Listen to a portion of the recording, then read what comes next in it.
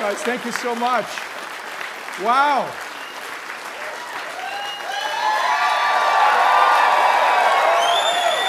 Wow. Thank you, friends. Thank you, ladies and gentlemen. Thank you. Thank you very much.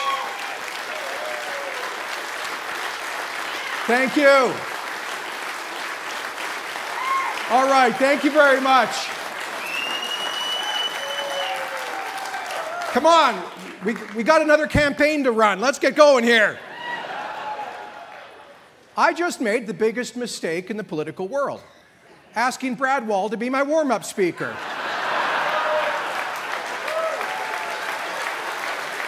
Never making that mistake again. This is like uh, a, a local pickup band being opened for by the Rolling Stones. But Brad, you bet, I'll be on that bus with Scott Moe and Premier Doug Ford.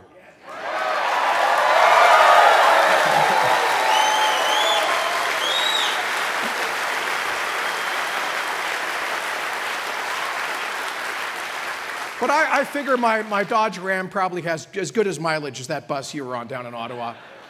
Folks, I just want to start by saying, on, beha- on your behalf, a huge word of thank you to our friend, Brad Wall, for that inspiring message, but more importantly, for his work over the past several years to, to defend Alberta, the West, our resources, and our way of life.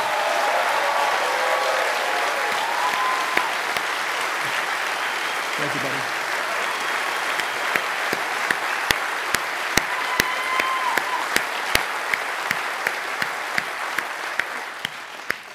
And uh, for what it's worth, I like the beard, Brad. It's pretty good. But we will definitely be, giving you cause to shave that off in a couple of years. So, friends, uh, this is just amazing. And by the way, I got to tell you, I told Brad when I called him up. Um, I think he called me actually when we launched this campaign in the summer of 2016. And he knows I'm originally from Saskatchewan. How many of you guys are originally from Saskatchewan? There you go, Brad. Like Andrew Scheer said last night, Saskatchewan folks are proud that they helped to build two provinces. Um, but he called me up, he said, Jason, this is just awesome that you guys are going to get uh, the free enterprise movement together in Alberta. And uh, we did the same thing in Saskatchewan. We need Alberta back on track. He said, I'm just glad you're not going to be able to do it for three years. I said, Why, Brad? He said, That gives me three more years to steal your businesses and investors to come to Saskatchewan. uh, but, uh, Brad, honestly, I, I still drive around some of the secondary roads in rural Alberta and see Brad Wall for Premier signs right here in Alberta. So we love you. We love you. Thank you very much.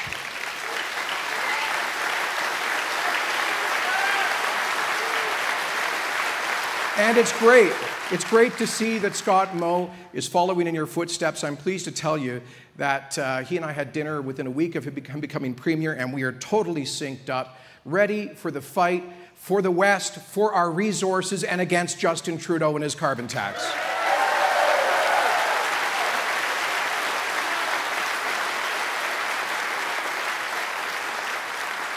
Friends, Tonight, I want to talk to you about uh, how far we've come, where we're headed, and how we're going to get there.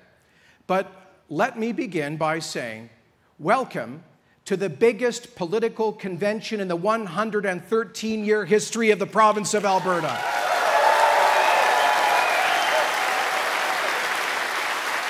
Look at this room. Look at the, Look at this room, or I should say, look at these rooms, because we've got folks over in the overflow side. And Brad, I think you and I are going to go over there and say hello and apologize. But we just, you know what? I call this a good problem to have. Too many people, too much interest. You can feel the energy. Change is in the air. Albertans want our province back on track. And we're going to get it back on track.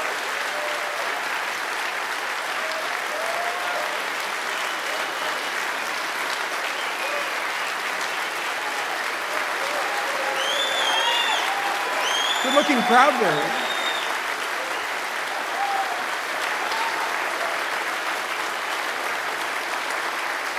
So I got to be honest with you. When we planned this convention, the first estimate, guesstimate of how many people would come, based on precedent, was maybe about a 1,000 people. But tonight, we are approximately 2,600 strong here in Red Deer. This is amazing. By the way, I, I want to ask how many of you are attending tonight your first ever political convention? Put up your hand. Look at that. What is that? It's a third of the room. This is, excuse me, the most important people in the room. They're not Brad or me or our MLAs or the MPs. They are the folks that just put up your hands. You are a sign of hope. You are a sign of a new beginning for Alberta.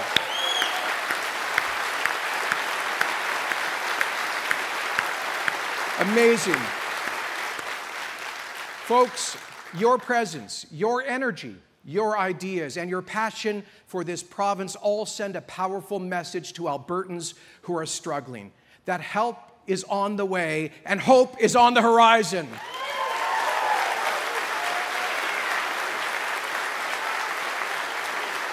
So let me begin. Let me begin by saying thank you. Thanks to all of you who have made sacrifices to travel from far and wide to help us uh, set the course for our province's future. Thank you to all of the volunteers who are making this, this, this historic AGM such a huge success.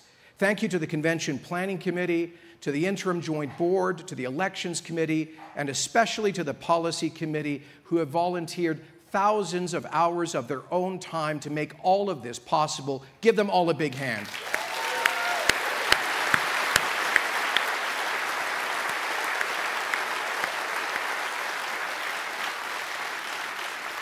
And by the way, let's also hear it for the wonderful staff here at the Red Deer Sheraton for being such great hosts.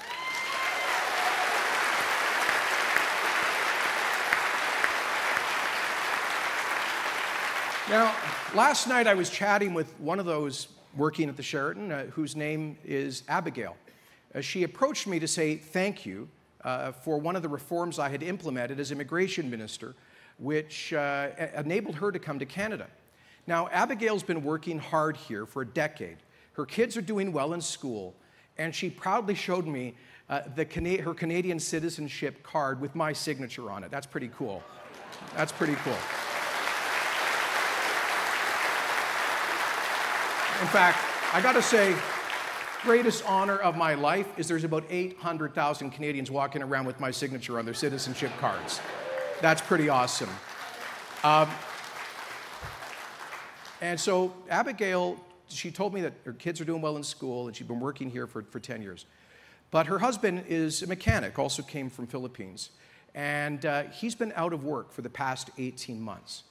Now, she was moved to tears describing to me how she has become demoralized and the impact that this is having on her family. Abigail said to me, Sir, can you please do something to help my husband get his job and his dignity back? Now, over the past 20 months of our Unity campaign, I have heard thousands of stories just like Abigail's. Hers was just last night. But about a month ago, I was at a Pakistani event in uh, Edmonton where it happened to be on the Sunday when Kinder Morgan announced they're hitting the pause button on, uh, on the big pipeline. And I informed the crowd about this. Uh, and right afterwards, I was approached by a lady uh, named Nazia, who told me that after immigrating to Canada, her husband worked gainfully in a good six figure job as a geologist and did so for a decade, but that he has now been unemployed for three years. Nazia said that uh, she was this was having a huge impact on their family, and she asked me, Is there any hope to get this pipeline built? You know, and just a week later, I was at the big rally in favor of uh, Trans Mountain up at the legislature, and I was approached there by a man in his 50s named Patricio. Uh, but he came to Canada from Chile as a refugee in 1974. And for over 20 years, Patricio made a good six figure uh, income at an Edmonton firm that manufactures uh, oil sands implements. That firm, he told me, used to employ 500 people. That's now down to 60 people. And Patricio finally got laid off just last month. and he cannot understand why Justin Trudeau plans to phase out the oil sands. So, friends, Abigail, Nazia, Patricio, all of them remind us of why we are all here. Their families were drawn to this land of opportunity, to a place where dreams can come true. But for them and for so many others, that dream, that Alberta dream, is fading. But we are here for them. We are here to fight for them. We aren't here to do politics for the sake of politics. There is a much more profound reason why you're spending hundreds of dollars of your own money, traveling great distances, giving up a weekend away from family in order to do the often difficult work of democracy. You are making sacrifices, every one of you. You are turning your citizenship into action because you want the Alberta dream to be a reality for families like Abigail's. You want to reignite our economy so that her husband gets his job and his dignity back. You want to renew the Alberta Advantage so that Patricio can take care of his family. So let us never forget that this, this conference, this party, this movement, tomorrow's policy debates, our executive elections, our upcoming nominations, and next year's general election, all of this is about people, not power. Let us dedicate, that's right. It's about people, not power.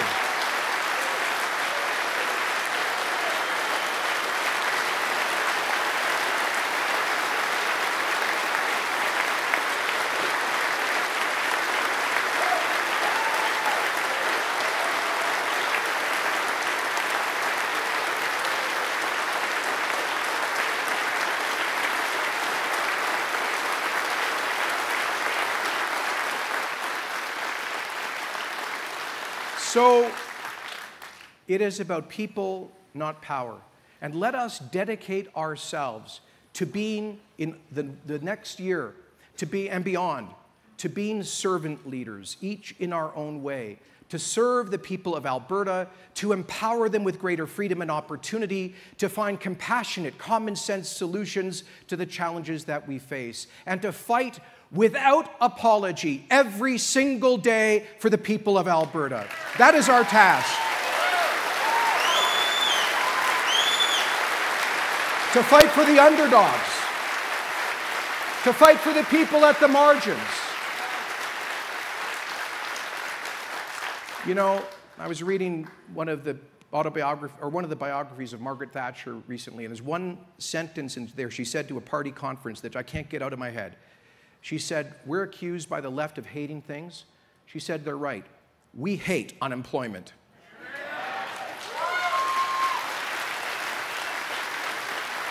How that is soul destroying for people, how that chews away at their dignity. Those families I just mentioned, they're all going through emotional stress. Not just the financial stress turns into family and emotional stress. And that gets acted out in all sorts of, of bad ways. This is so this is not about economic statistics.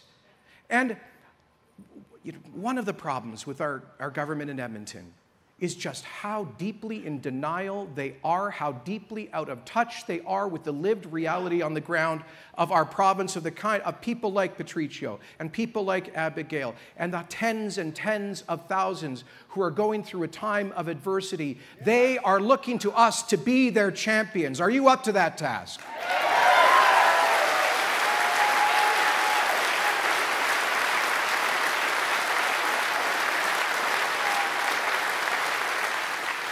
Friends,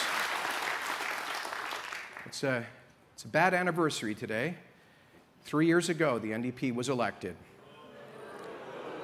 They were elected.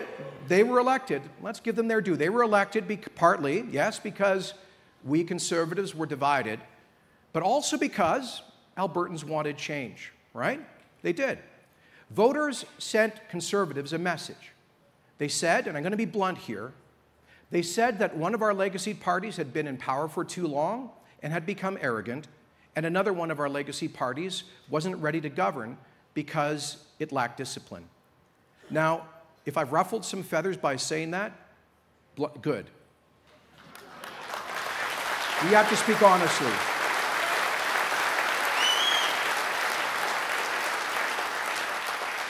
We didn't get this far in the unity movement by lying to each other. We have to be honest with one another. And I'm, spe- I'm speaking plainly because we must show Albertans that we heard their message, that we have learned from the mistakes of the past, and that we will not repeat them. Uh,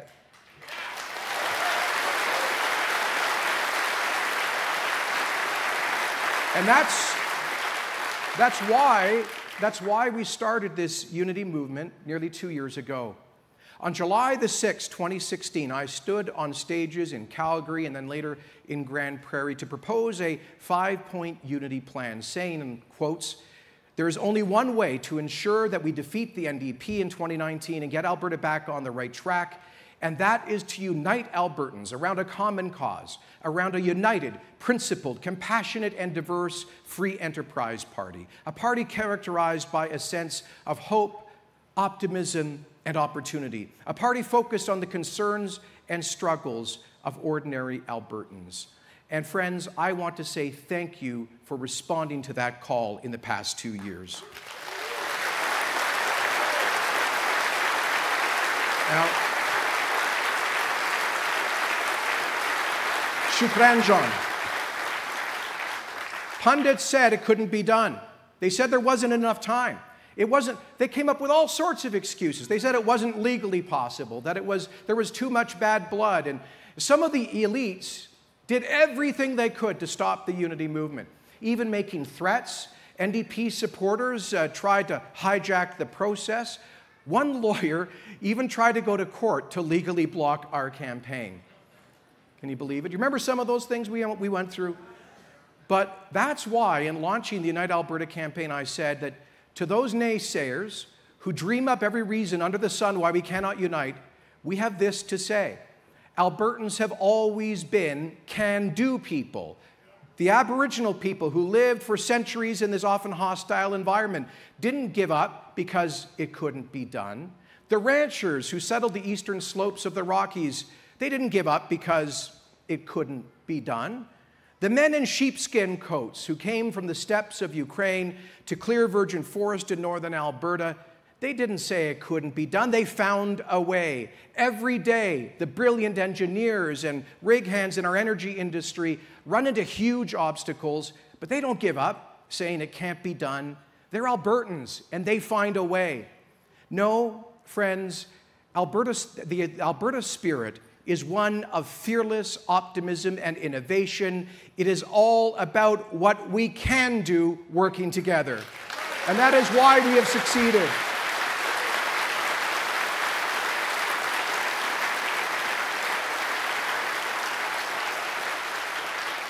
As one of my political heroes, the great Winston Churchill, once said, the pessimist sees difficulty in every opportunity, but the optimist sees opportunity in every difficulty. And friends, we saw, we saw and secured that opportunity at a time of great adversity for our province. So let me again say a word of heartfelt gratitude to all of you who played a role, large or small, in the unity movement over the past two years. Thank you to your hard, thanks to your hard work Grassroots Alberta Conservatives decided last, last July 22nd to bury the hatchet, to put the people of this province ahead of any political party by voting 95% in favor of unity. We did it. You did it. 95%. We made history. Never forget it.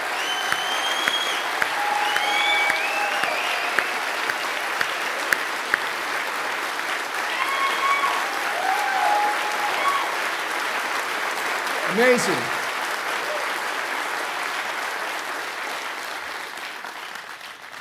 If somebody was betting on 95% in Vegas on that vote, they wouldn't have got very good odds, I'll tell you. That, that, was a remarkable outcome.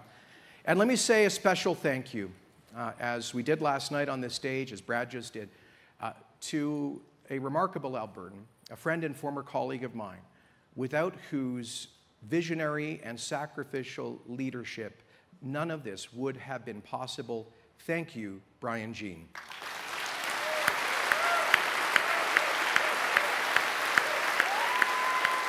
Where is he? Thank you, Brian.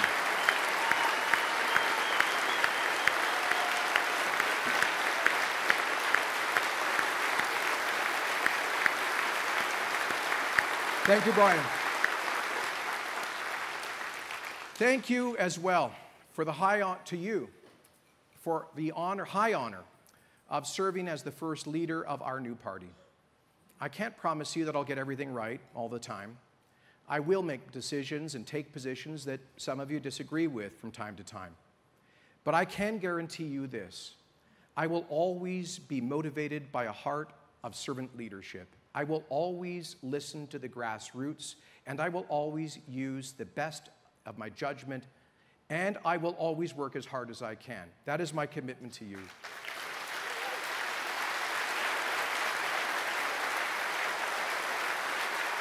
Now, Let's be, let's be continuing on the theme of frankness. There will be good days and there will be bad days in the next year and in the future. Polls will go up and polls will go down. But I hope that as your leader, I can count on your support in the months ahead as we prepare to win the next election. Can I count on your support? Thank you. Thank you. Thank you. Thank you. Friends, look at how far we've come in just in eight months.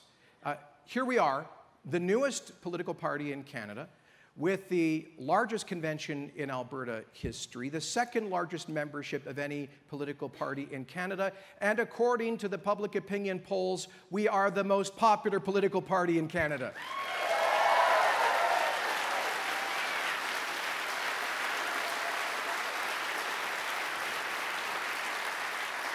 Although, I, Brad, I think we might be in a statistical dead heat with the Saskatchewan party, but that's all right. Good competition's always good. But remember what a great Saskatchewan leader, John Diefenbaker, said about polls? He said, Dogs know best what to do with polls. Some good prairie common sense there. So we cannot take anything for granted.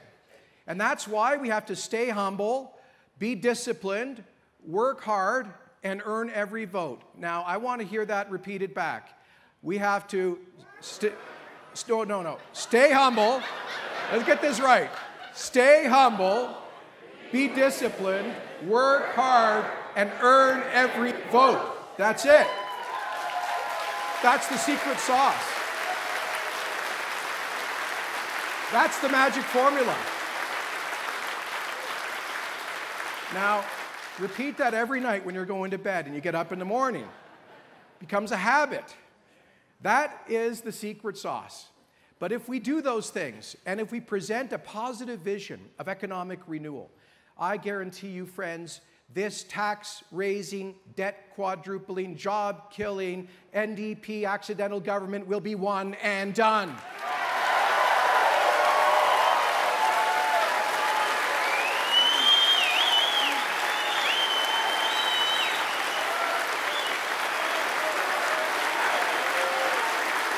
You know it. Am I right? Hey, looking good.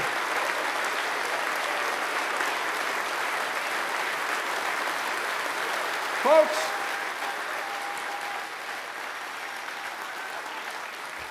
we need to bottle the energy in this room. Albertans are, Albertans are counting. That sounds, sounds like Cinco de Mayo, by the way. Uh, Feliz Cinco de Mayo, todos, todos mexicanos uh, mexicanos. Uh, Albertans are counting on us, on us to get this right.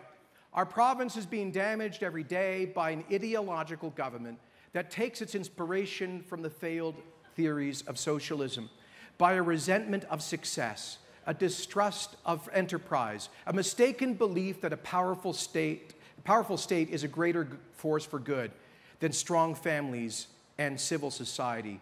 But they, they couldn't be more wrong. Now, having said that, friends, let's be clear. The Democrats are not bad people, they just have bad ideas.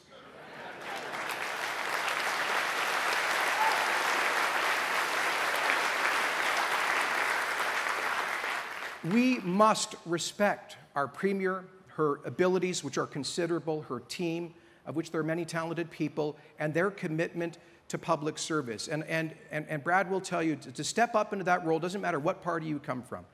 You, you, you make a, a lot of sacrifices and you face a lot of hostility.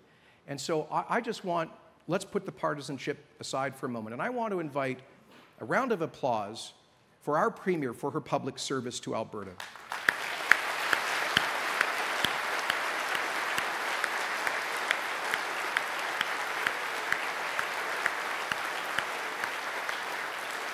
And I'm going to go a step further on this because there was another story today, yesterday, about uh, our premier facing threats. I've faced threats, some of us do, and it's not, it's not pleasant. I've been under RCMP police protection. But listen, when those threats are made against women in public life, it's, it's usually particularly pernicious and totally unacceptable, often playing off of misogyny. And I'll tell you this uh, Premier, we stand with you against those who have leveled these threats against you. And, and I want to send a message. I know there's a lot of frustrated and anxious Albertans, but I want to send a message to them tonight. And some of them are watching on Facebook.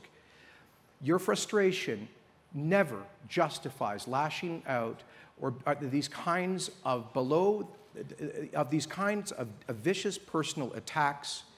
And if you feel that's what you uh, need to do, well, shame on you, and you're not welcome in the United Conservative Party.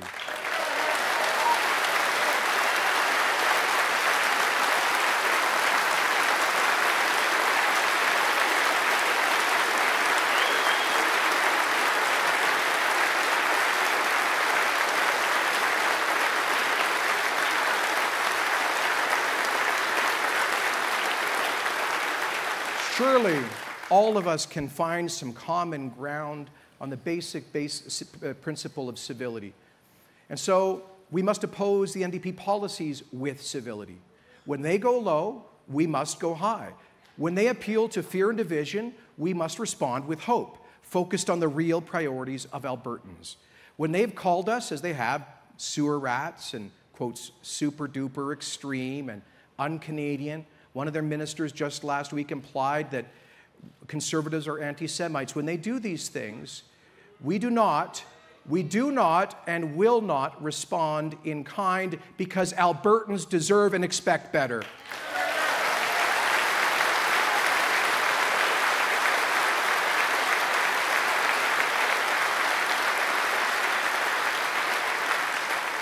And that is why I am proud of our caucus for having been so disciplined in raising the bar of decorum in the legislature. We've gone through two months without a single heckle, without a single desk thump from any of our MLAs, despite constant attacks and provocations and name calling from the government side. So, thank you to our caucus for showing respect for our legislature and the people that it represents.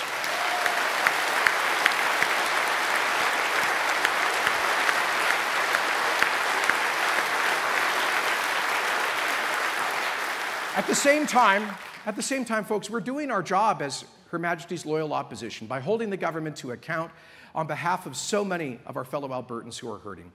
The 156,000 who are looking for work, the tens of thousands who've given up looking for work altogether, and the tens of thousands who have left our province, as well as the thousands of small businesses uh, uh, that have gone under, and the tens of thousands of people who have gone from good, high paying, reliable six figure jobs to piecemeal and contract work where they can barely pay the bills. To all of them and the unsung heroes of our economy, the entrepreneurs who put everything on the line. Are there any small business people in this room? There you go. Can I just pause? Can I just pause to say thank you for being the backbone of our economy? Thank you for the sacrifices that you make.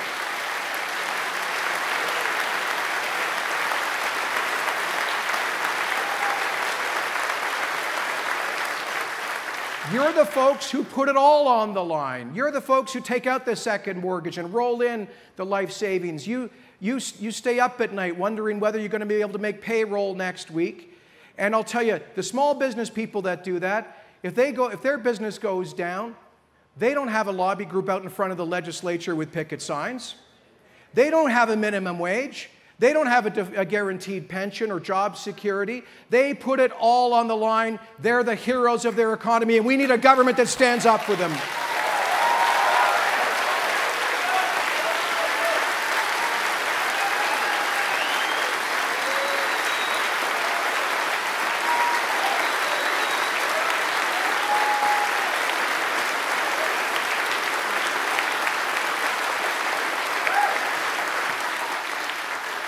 Now, all of this, all of this adversity that people are going through, all of this because of a government that made a bad situation much worse than it needed to be through reckless ideological policies that have driven away investment and jeopardized our future, with higher taxes on everything, on incomes, employers, property, and soon they're in cahoots with Justin Trudeau to raise payroll taxes.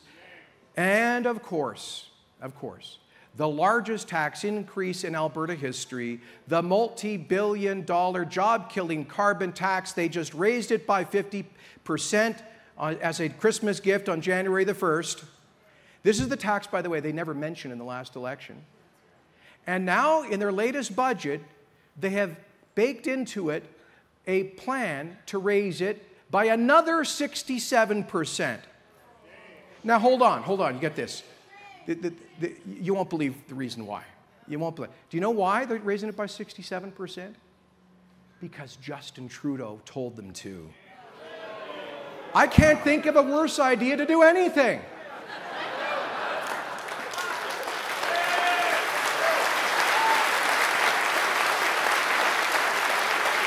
all that, all that for a tax.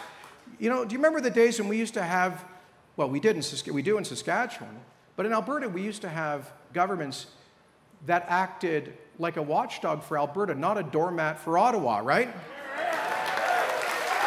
They got that backwards now.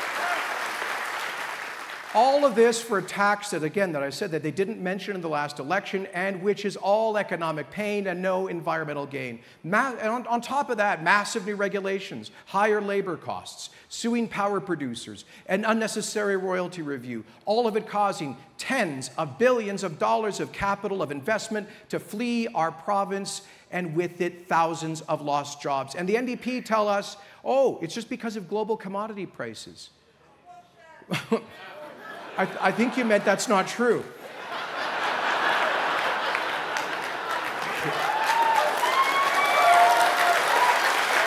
That's unparliamentary.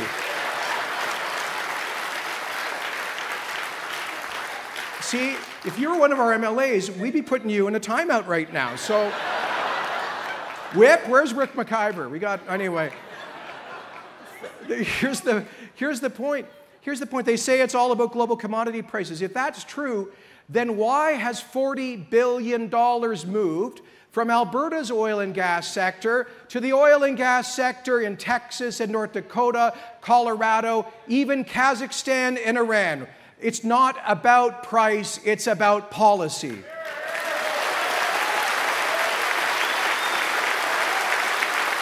And I'm sorry, I'm going to go longer than I should, but I just got to throw a couple things in.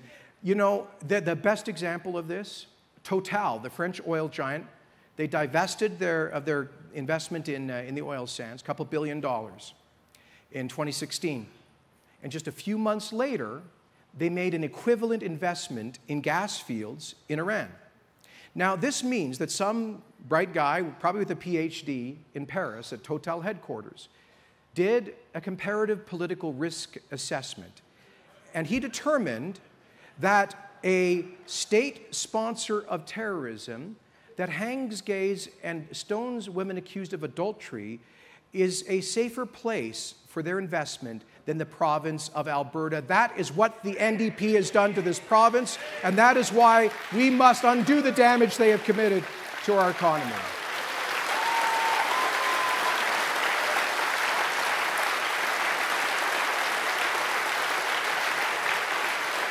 And if all of that, if that catastrophic failure of investor confidence wasn't bad enough, well, in just three years, in just three years, they've quadrupled Alberta's debt. After 100 and, and, when they came to office in 2015, after 110 years, we had a total debt of 13 billion dollars. It now stands at 56 billion.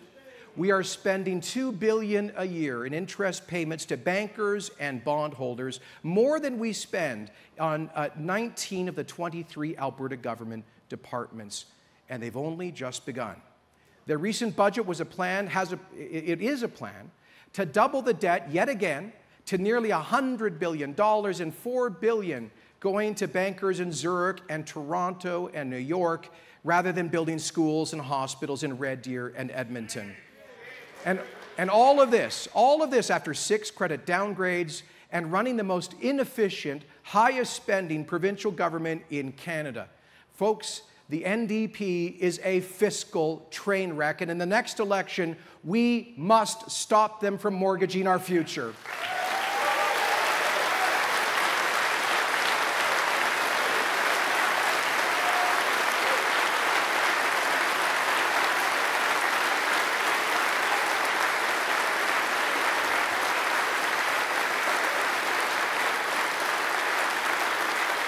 But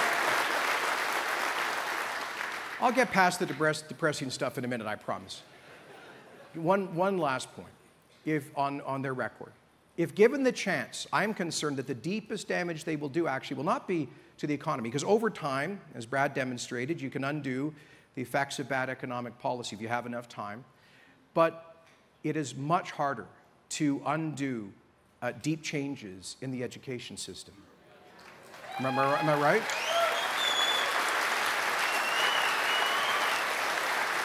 And the NDP is rewriting the school curriculum in secret. This is being led by a minister who supports boycotting Israel and has been a longtime opponent of Alberta's successful tradition of school choice. He's a true believer. You know where this is going. It's not about better school outcomes but social engineering and more failed teaching fads. So let me be clear. If the NDP tries to smuggle more of their politics into the classroom through their curriculum, we will put that curriculum through the shredder and go right back to the drawing board.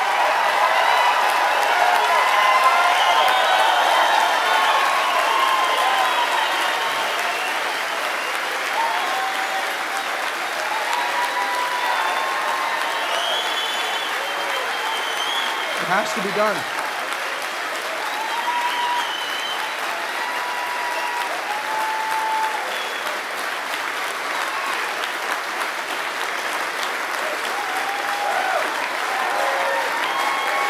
I'm not fooling about this. I'm serious.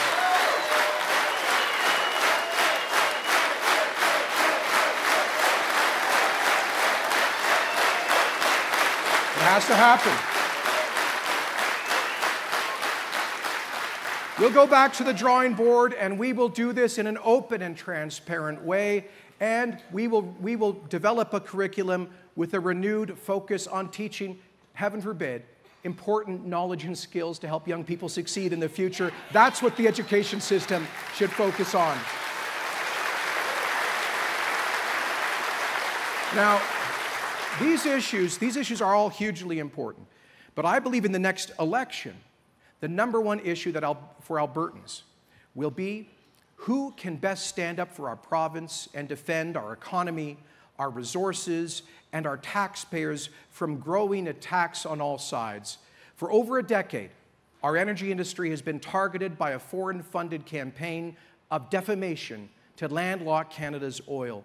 The cost to us is staggering. We are becoming a bargain basement economy, losing $40 million a day, 14 billion a year, and counting by underselling our most valuable asset to the United States. We are giving our family jewels away to the, to the pawn shop. Unless we can get access to global markets, we will be assuming over time an opportunity cost of hundreds of billions of dollars and tens of billions in government revenue. That represents our ability to handle our future debts, our rising healthcare costs, our, the, the, to build future schools and infrastructure, and to provide to the next generation the standard of living that we hope for them. But this is not just an economic question. it's also a moral question for the whole world. The International Energy Agency projects growing global demand for oil and gas for the next 25 years. That demand will be met.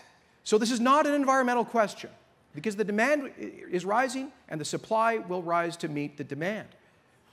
But, but, but if Justin Trudeau gets his way and phases out the oil sands, if David Suzuki and Elizabeth May and the Tides Foundation and the Rockefeller brothers and the whole lot of them, if they get their way, if they get their way by shutting down Canada's energy industry, the Iranian and Saudi theocracies that, that abuse gay men and women, the uh, brutal socialist dictatorship in Venezuela, Vladimir Putin's Russia, the Qataris, and all of them, do you think they will stop producing or shipping a single barrel of oil? Absolutely not. So the question, the question is whether Canada, with the highest human rights, environmental labor standards of any energy producer on earth, will compete with and hopefully displace energy coming from some of the world's worst regimes. Will we do that? Will we do the moral thing? Or will we fold to this pressure and abandon global energy markets to Putin and to OPEC? I say the world needs more Alberta energy, and, and we will fight for that.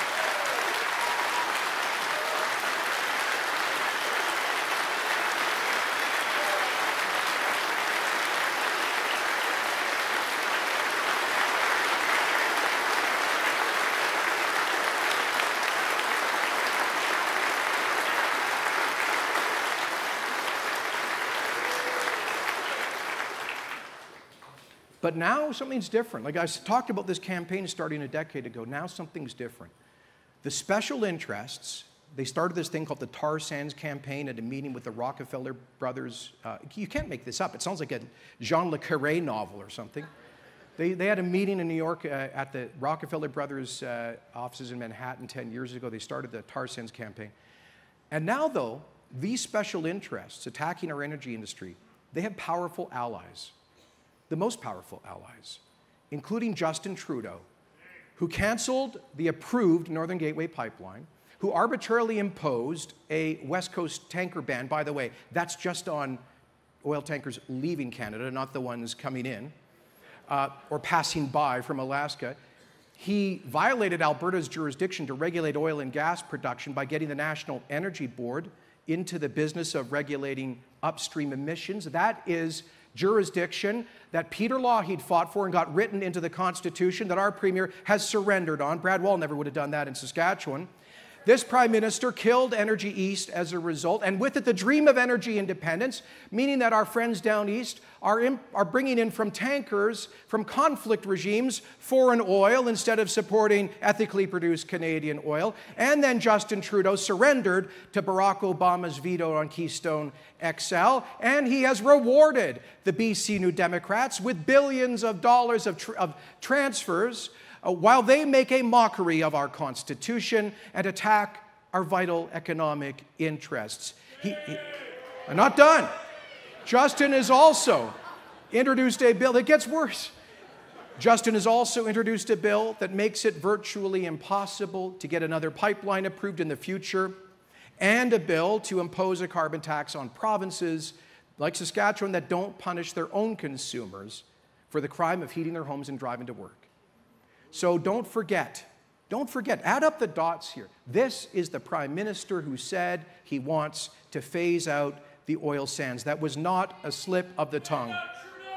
For some, for some inexplicable reason, folks, our Alberta, and this is the part I really don't get, our Alberta NDP government has decided to make this prime minister their closest ally their closest ally. For them, Justin Trudeau can do no wrong. Every day I'm in the legislature asking them to take issue with, with the anti pipeline bill, with the federal carbon tax threats, with the intrusion into our jurisdiction, with his shutting down Energy East, with his cancellation of Northern Gateway, with his surrender to Obama on, on Keystone, on his total inaction on Trans Mountain. Every day I give them an opportunity to stand up for Alberta, and every day our NDP government instead sides with Trudeau in Ottawa defending uh, this federal government that is undermining the engine of our prosperity. And to top it all off, to top it all off, we have politicians benefiting from billions of dollars in equalization transfers.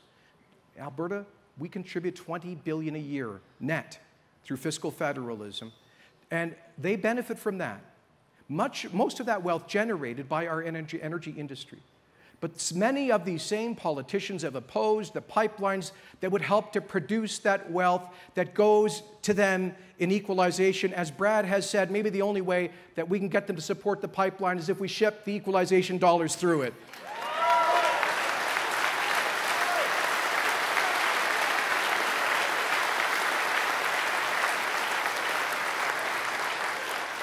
So let, let me be very frank, friends. I think even my critics have learned that when I put my mind to something, I don't stop till I get her done.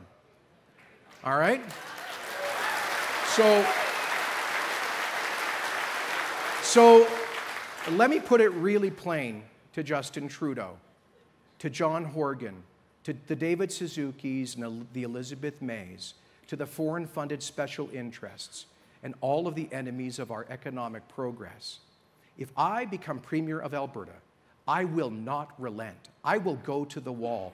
I will form alliances. I will go to court. I will use every tool available to defend this province, our economy, our resources, and our people.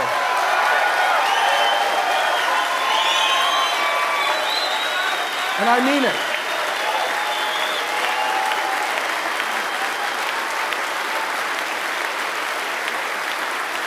No bluffing here.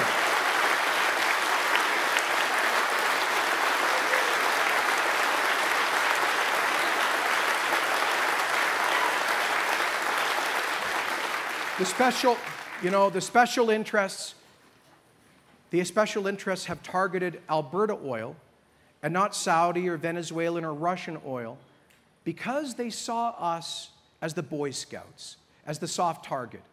Well, if I am premier, those days are over. Alberta will no longer be a soft target.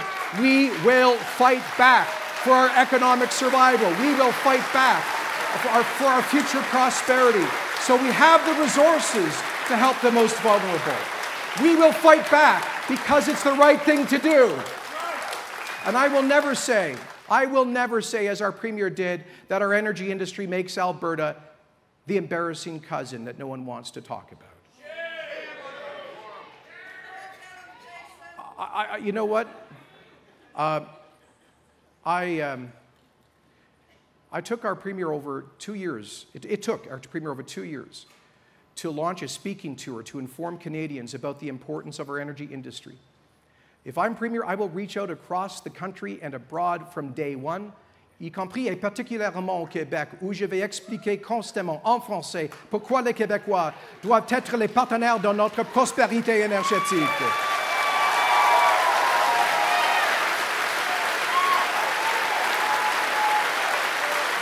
dans les deux langues officielles du Canada.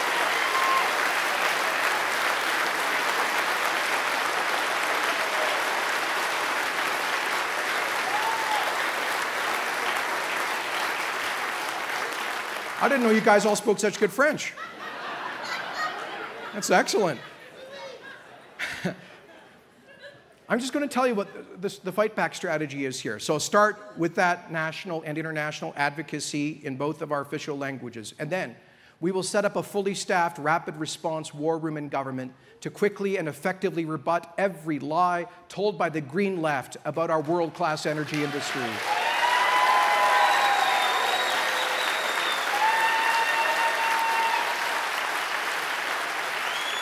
And I like, I like this one. I like this one. If companies like HSBC decide to boycott our oil sands, our government will boycott them.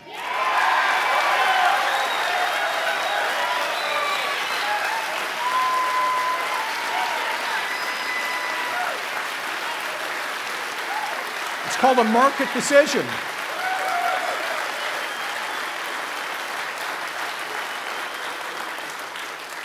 Hang on, folks, there's a lot more to come here.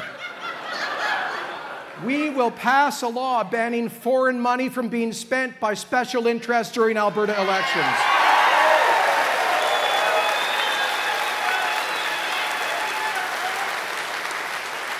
We will follow up. We will follow up on the recent work of a United States Senate committee that confirmed a Russian social media campaign targeting North American energy production. And we will launch a special Alberta Legislature committee investigation into the sources of foreign funds behind the anti Alberta special interests.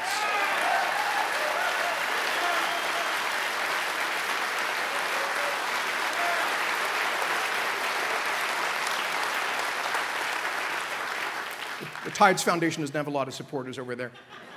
We will go to court if necessary to get the federal government to strip charitable status from bogus charities like Tides Canada and the David Suzuki Foundation.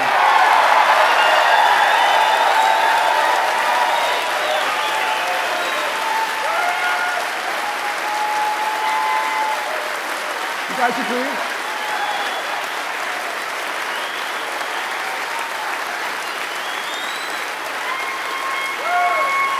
We're not done. We're just starting. While the NDP has spent millions of advertising dollars to promote their punitive carbon tax, we will instead use those funds to explain to our fellow Canadians how we all benefit from the most environmentally responsible oil and gas industry on earth. Now, the NDP, you may remember this, they pressured industry groups into supporting their carbon tax on everything. Instead, we will politely ask the same energy industry groups to up their game in telling their story and stop playing defense. We need an industry champion to follow the lead. We need an industry champion to follow the lead of the brave for, uh, forestry company Resolute Forest Products, which is standing up to bullying by suing Greenpeace for defamation in court.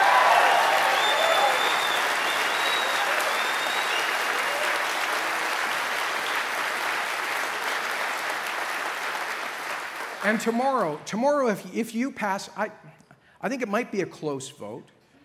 We'll see. We'll be, I'll be sitting on the edge of my seat. But if, if the majority of you guys vote in favor of repealing the carbon tax, you think that's going to happen? I don't know. You think? All right. We'll see.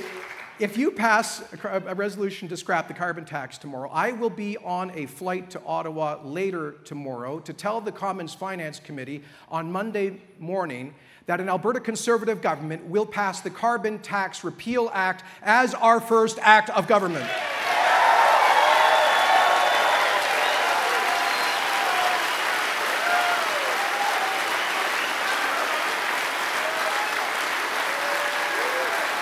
But it's up to you.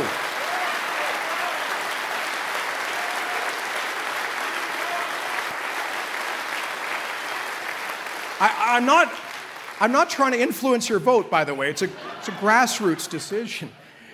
And, and, and I will tell the committee on Monday that if Justin Trudeau tries to impose his federal carbon tax on us, we will join with Premier Scott Moe and the possible Premier Doug Ford, and we will see Justin in court.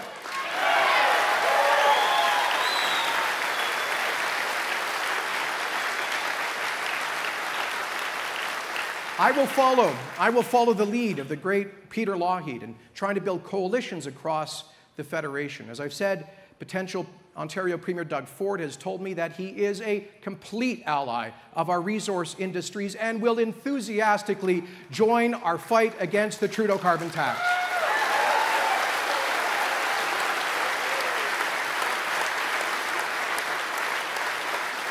So, friends, if we come to office and the BC New Democrats are, are still violating the Constitution by blocking the Trans Mountain Pipeline, we will not make empty threats like the NDP government here. We will act. We will act to protect our strategic economic interests. You all remember this. Last summer, I was talking about turning off the taps, and our premier, our premier mocked and ridiculed me. She said Jason was having a temper tantrum. She said he wants to be a mini Trump and build a wall around Alberta and make BC pay for it. That was a clever line, actually, but I, I, And, and, and, and she said, that's not how you build a, a, a pipeline. And then, and then lo and behold, on the road to election day, they must have done some polling. And they must have seen that Albertans actually want their provincial government to defend this province's strategic economic interests, and they took lock, stock, and barrel our fight back strategy. And but let me be clear: for me, it's not empty words. It, John Horgan is having a hard time right now explaining gas prices at a buck sixty a liter. Wait till we turn off the taps and it hits three dollars a liter. May, maybe, maybe then, maybe then the BC New Democrats and even the Greens will understand that their economy is not fueled by dilithium crystals or pixie dust, but by Alberta crude oil.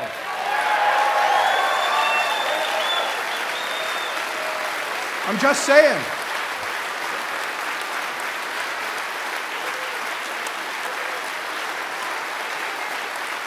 Unbelievable.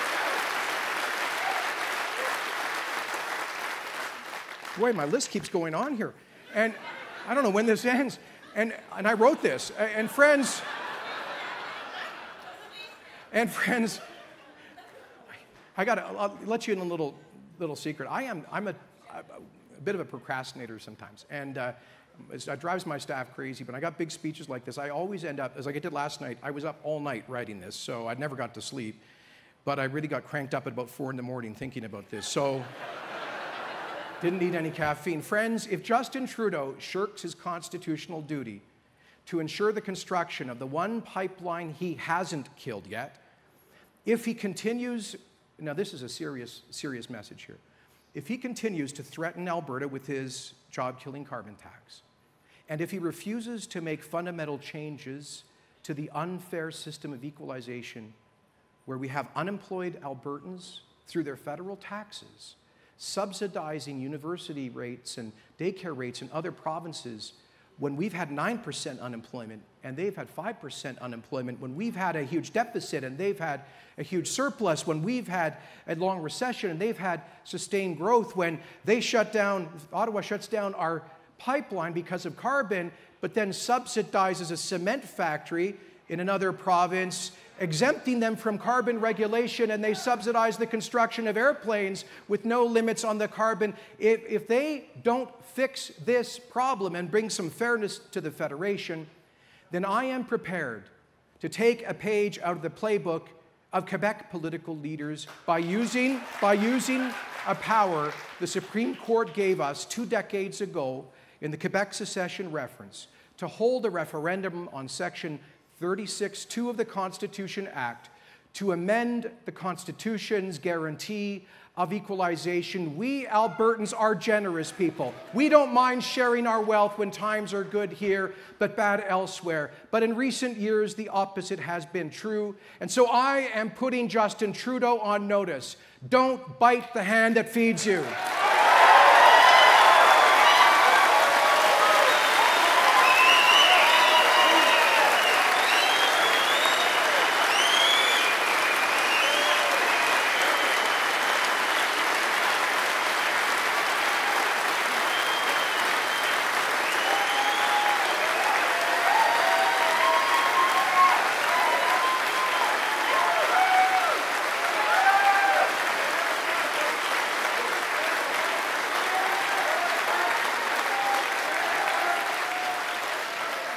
As I say, Albertans are generous, but they also believe in fairness. And under a united conservative government, we will fight for fairness. Now, friends, May 5th, 2018, today is a key date. As I said before, we're exactly three years from the election of the NDP and one year from the next election. On this weekend, yeah, that is, that is worth applauding. Just one more year just 365 sleeps, right? Is it a leap year? I'm not sure. On this weekend, on this weekend, we're setting the course for our new party. And as we do so, let us recall why we are called the United Conservatives. This is a big tent coalition, and let's keep it that way. We don't agree with each other on everything. I'd say thank goodness. You know, some of you heard me quote the former New York Mayor Ed Koch before. He said that if you agree with me on, uh, on 10 things out of 12, vote for me. If you agree with me on 12 things out of 12, see a psychiatrist. and unlike our friends on the left, we do not seek some artificial intellectual uniformity on everything. We believe in robust debate. Today, there was some debate on party governance. Tomorrow, there will be more on public policy. And we have hotly contested elections for our executive. Not every vote will go your way. If an idea or a candidate to which you are attached doesn't succeed, or if you've worked hard on a resolution that unfortunately didn't make it to the floor, please don't be discouraged. Instead, respect the collective judgment of your fellow members. Unite and move on. Keeping that hard won unity will be especially important in the upcoming nomination races. I'm excited to see so many bright, talented, diverse candidates stepping forward for nominations. So if you think that you can help us get Alberta back on track as a candidate or as an MLA, I encourage you to put your name forward or to encourage other good people to do the same. We will need a phenomenal team of talented Albertans to do the heavy lifting in the next, after the next election. And please reflect on what Rana and Heather said earlier today. It's especially important that strong women seek UCP nominations and bring their unique talents and perspective to our caucus and cabinet. Are you with me on that?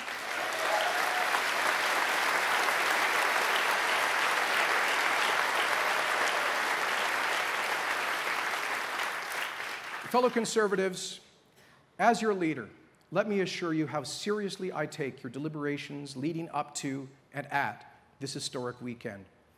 I ran for the PC leadership on the five point unity plan. The fifth point was this founding AGM promise made, promise kept.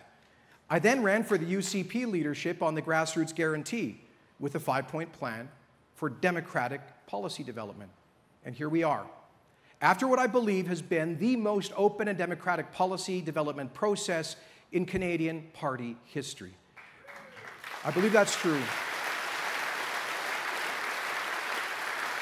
we received, we received, the last, the last time the NDP had one of these things, they, they debated, I think, 40 resolutions for two hours. Uh, we received a phenomenal 1,600 resolutions. And then, I think for the first time in Canadian party history, every single one of our 110,000 members had a chance to vote on those resolutions.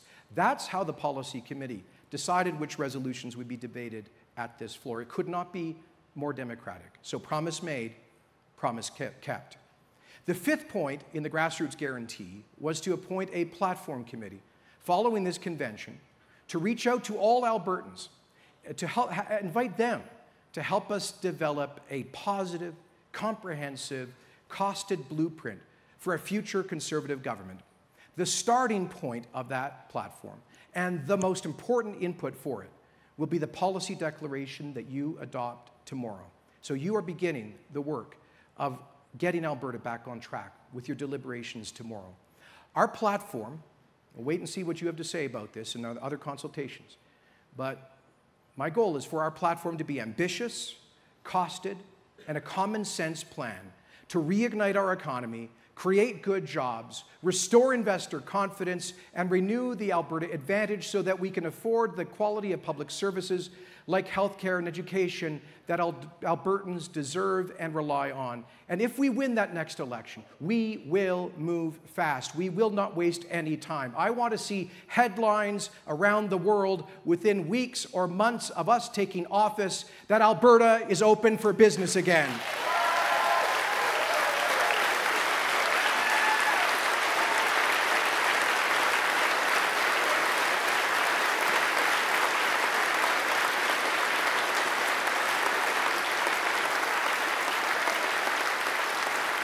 Folks, don't worry, I'm just about done. Folks, when I, met with our, when I meet with our newly exec, elected executive tomorrow, I'm going to be recommending that we hold our next AGM in February in Edmonton, because everybody loves to be in Edmonton in February, but, um, and, but seriously, uh, because in the next and by the way, we know that for a lot of farmers, this conflicted with seeding. We're going to try to avoid that in, in problem in the future. And are there any farmers here tonight that got, got a night off seeding? Not many, because they're all out in the fields. And if there are any farm families here, we wish you uh, great luck with this crop season, and, and thank you for feeding Alberta and the rest of the world.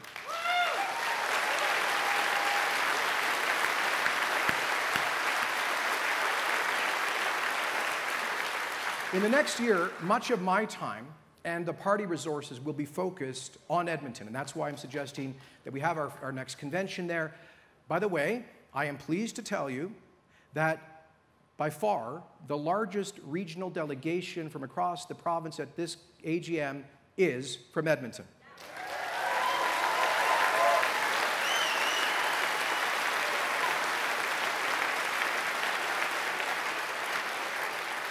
Edmonton is a great industrial city of builders, of dreamers, and of doers. It is our capital, and we must do everything we can to ensure that Edmonton is at the table where the decisions are made in the next government. And I also want to make it clear that after what, they have, what the NDP has done to our province and our economy, that there is no safe seat for the NDP anywhere, including in Edmonton.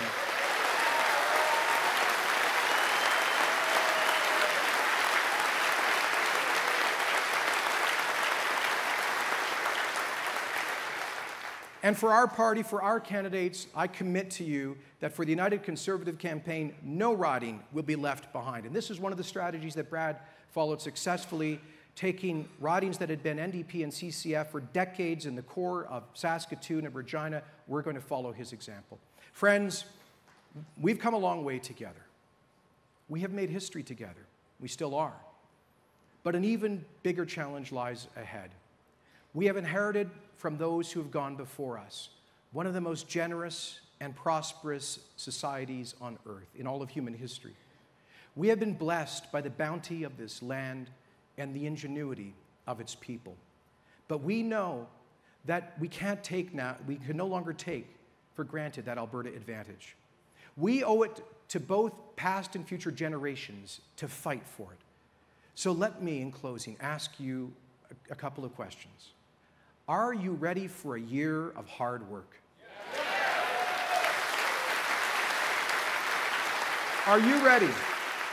Are you ready to reach out to Albertans of all backgrounds and walks of life to have them join this movement?